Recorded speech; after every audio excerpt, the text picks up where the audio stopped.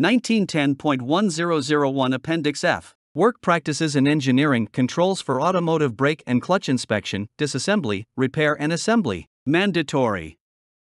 Appendix F to Section 1910.1001. Work practices in engineering controls for automotive brake and clutch inspection, disassembly, repair, and assembly. Mandatory. This mandatory appendix specifies engineering controls and work practices that must be implemented by the employer during automotive brake and clutch inspection, disassembly, repair, and assembly operations.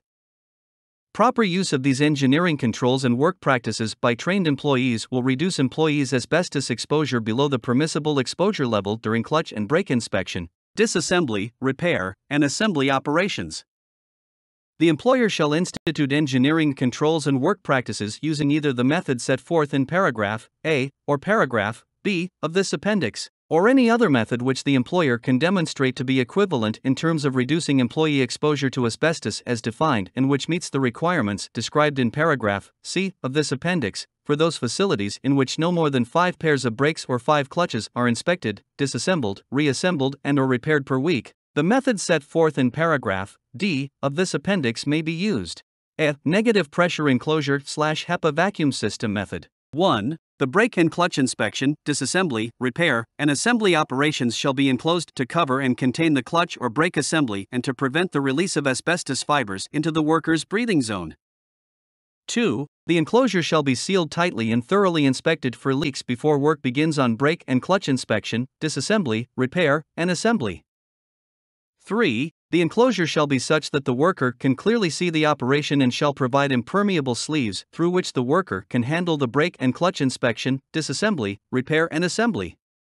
The integrity of the sleeves and ports shall be examined before work begins.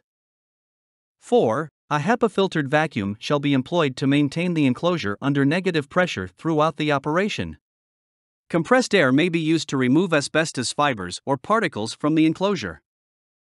5. The HEPA vacuum shall be used first to loosen the asbestos containing residue from the brake and clutch parts and then to evacuate the loosened asbestos containing material from the enclosure and capture the material in the vacuum filter. 6. The vacuum's filter, when full, shall be first wetted with a fine mist of water, then removed and placed immediately in an impermeable container, labeled according to paragraph J 5 of this section and disposed of according to paragraph K of this section. 7. Any spills or releases of asbestos containing waste material from inside of the enclosure or vacuum hose or vacuum filter shall be immediately cleaned up and disposed of according to paragraph K of this section. B. Low pressure slash wet cleaning method. 1. A catch basin shall be placed under the brake assembly, positioned to avoid splashes and spills. 2. The reservoir shall contain water containing an organic solvent or wetting agent. The flow of liquid shall be controlled such that the brake assembly is gently flooded to prevent the asbestos containing brake dust from becoming airborne. 3. The aqueous solution shall be allowed to flow between the brake drum and brake support before the drum is removed. 4. After removing the brake drum, the wheel hub and back of the brake assembly shall be thoroughly wetted to suppress dust. 5. The brake support plate, brake shoes, and brake components used to attach the brake shoes shall be thoroughly washed before removing the old shoes. 6. In systems using filters, the filters, when full, shall be first wetted with a fine mist of water, then removed and placed immediately in an impermeable container, labeled according to paragraph J 4 of this section and disposed of according to paragraph K of this section. 7. Any spills of asbestos containing aqueous solution or any asbestos containing waste material shall be cleaned up immediately and disposed of according to paragraph K of this section.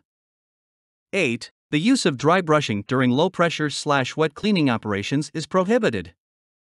C. Equivalent methods. An equivalent method is one which has sufficient written detail so that it can be reproduced and has been demonstrated that the exposures resulting from the equivalent method are equal to or less than the exposures which would result from the use of the method described in paragraph A of this appendix. For purposes of making this comparison, the employer shall assume that exposures resulting from the use of the method described in paragraph A of this appendix shall not exceed 0.016 f/cc as measured by the OSHA reference method and is averaged over at least 18 personal samples. D. Wet method. 1. a spray bottle, hose nozzle, or other implement capable of delivering a fine mist of water or amended water or other delivery system capable of delivering water at low pressure shall be used to first thoroughly wet the brake and clutch parts. Brake and clutch components shall then be wiped clean with a cloth. 2. The cloth shall be placed in an impermeable container, labeled according to paragraph J. 4 of this section and then disposed of according to paragraph K of this section, or the cloth shall be laundered in a way to prevent the release of asbestos fibers in excess of 0.1 fiber per cubic centimeter of air. 3. Any spills of solvent or any asbestos containing waste material shall be cleaned up immediately according to paragraph K of this section. 4. The use of dry brushing during the wet method operations is prohibited.